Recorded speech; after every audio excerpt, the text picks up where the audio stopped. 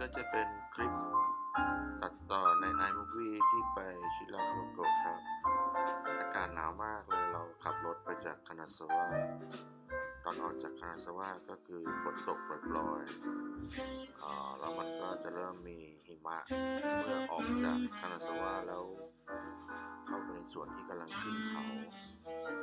ที่เป็นเชิงชนบทแล้วครับ มันก็จะมี นกึ่งหิมะแล้วตอนนั้นนะครับ อากาศไม่ได้หนาวเป็นพิเศษนะครับเวลาหิมะตกก็หนาวนะครับแต่ว่ามันก็สวยงามมากแล้วระหว่างที่เราอยู่ที่นั่นก็หิมะโปรยปลายตลอด เป็นสภาพแวดล้อมที่เราไม่คุ้นตาเลยนะครับก็ชอบมากๆชิราคาวาโตะครับ